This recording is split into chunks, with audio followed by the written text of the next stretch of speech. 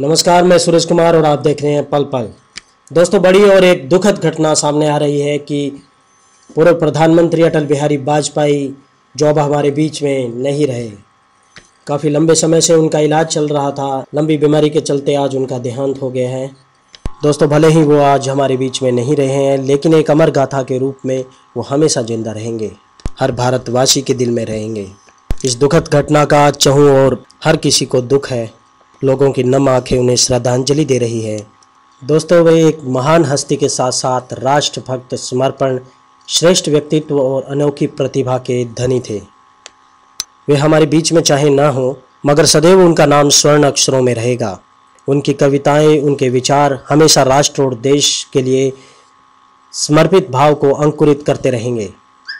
जब जब भी समय आएगा, युवा, बच्चे वह उनसे प्रेरणा लेते रहेंगे और प्रेरित होते रहेंगे।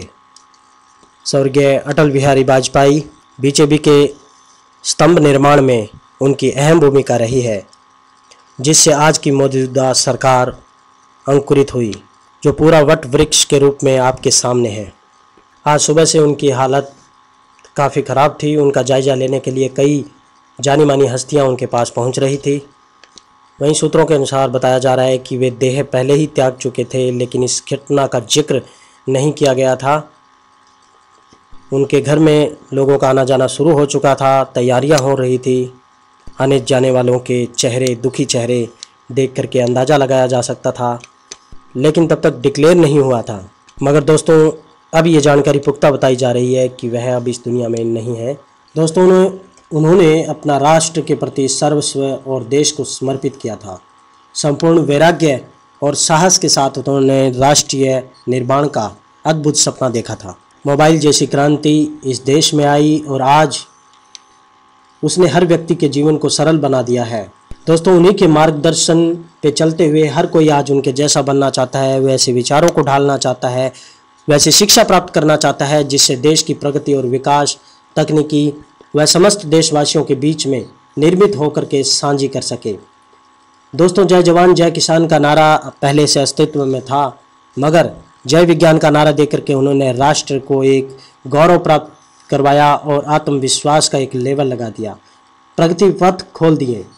उन्हीं की बहुत सारी ऐसी उपलब्धियाँ हैं जिनका हम अगर ज़िक्र करने लगें तो वर्षों बीत जाएँ। आज उनकी उपलब्धियों का भारत लाभ ले रहा है। बहुत सारी ऐसी उपलब्धियाँ हैं जिससे विज्ञान तरक्की कर रहा है, राष्ट्र आगे बढ़ रहा है। कहा था, हर चुनौती से दो हाथ मैंने किए, आंधियों में जलाए हैं बुझते दिए। आज झकझोरता, तेज तूफ़ान है नव भंवरों की बाहों में मेहमान है। पार पाने का कायम मगर हौसला, देख तेरे तेवर तूफ़ान का तेवर तन गई। आज मौत से ठन गई। अटल बिहारी वाजपेयी हिंदी के कवि, पत्रकार और प्रखर वक्ता थे। भारतीय जनसंघ की स्थापना में भी उनकी अहम भूमिका रही। वे 1968 से 1973 तक जनसंघ के अध्यक्ष भी रहे। आजीवन राजनीति में सक्रिय रहे। अटल बिहारी वाजपेयी लंबे समय तक राष्ट्र धर्म, पांचजन्य और वीर अर्जुन आदि पत्र पत्रिकाओं में संपादन भी करते रहे। वे राष्ट्रीय स्वयं सेवक संघ के समर्पित प्रचारक रहे। इसी निष्ठा के कारण उन्होंने आजीवन अविवाहित रहने का संकल्प लिया था। या यूँ कहे कि वे राष्ट्र के प्रति एक भीष्म पितामह थे। सर्वोच्च पद पर पहुँचने तक उन्होंने अपने संकल्प को पूरी निष्ठा से निभाया। मौत की उम्र क्या है, दो पल भी नहीं, ज़िंदगी सिलसिला आज कल की नहीं। मैं जी भर के जिया, मैं मन से मरूं। लौट कर आऊँगा, कूच से क्यों डरूं? वे अपने जीवन में एक निश्चित ठान करके चलते थे। इसलिए उन्होंने कहा था, जूझने का मेरा इरादा न था, मोड़ पर मिलने इसका वादा न था। रास्ता रोक कर वह खड़ी हो गई।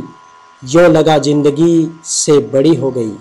उनकी हालत ख़राब होने के कारण उन्हें एम्स में भर्ती कराया गया था। हालत बेहद नाजुक थी। उन्हें लाइफ सपोर्ट पर रखा गया था। एम्स की तरफ़ से जारी एक मेडिकल बुलेटिन के अनुसार बीते 24 घंटे में उनकी हालत और बिगड़ने की उन्होंने बात कही थी। पूर्व पीएम अटल बिहारी वाजपेयी को देखने के लिए नेताओं का आना जाना लगा हुआ था। मोदी कैबिनेट के अधिकतर मंत्री एम्स में मौजूद थे।